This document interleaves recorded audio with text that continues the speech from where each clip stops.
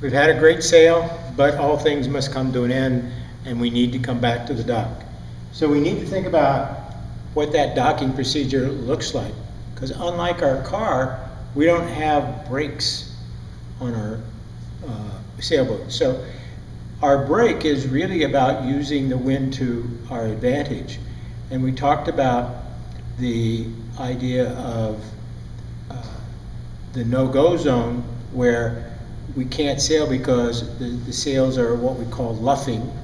And we talked about uh, if we don't sail our, if we don't trim our sails well or we let them out, they, they can luff and that loses the power.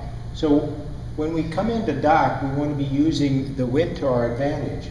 And in this case, we have this uh, nice large docking area and we have the wind coming down in this direction.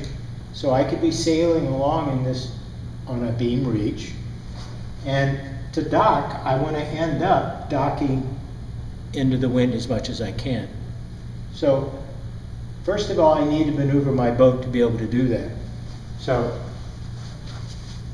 I'm going to sail along, probably drop off to a broad reach, drive down fairly deep, and turn the boat. Because I turned the boat stern through the wind to the other side, I jibe the boat. And now I can head up. And as I start to head up, I want to be getting rid of my speed, slowing the boat down by letting the sails out. And as I come up to the dock, I want to continue to make sure I'm letting the sails out and then turn the boat right up beside the dock and park it nice and slowly. It's really not any more complicated than that. Let's change the wind direction.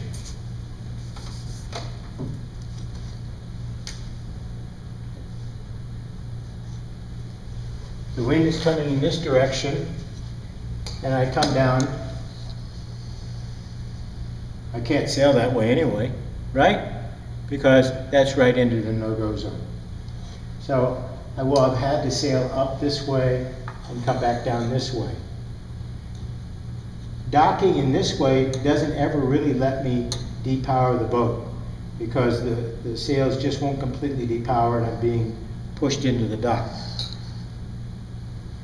Docking this way puts me in a spot where I'll never depower the boat. I'll be being pushed all the way down. So again, I want to end up being able to dock along the dock facing into the wind. So I will have come up into the mooring area, have tacked down, and come down, letting my sails out, and starting to turn the boat, letting the sails out some more, and then slide up to the wind. We change the wind direction again. Again, what we want to do is end up docking into the wind.